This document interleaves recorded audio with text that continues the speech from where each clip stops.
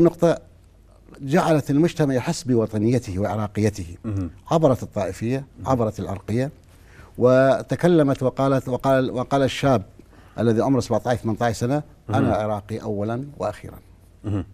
أنا عراقي كلمة كبيرة جدا. ترسم ملامح يعني وطن جديد. ترسم ملامح آه، تعايش داخل مجتمع مدني.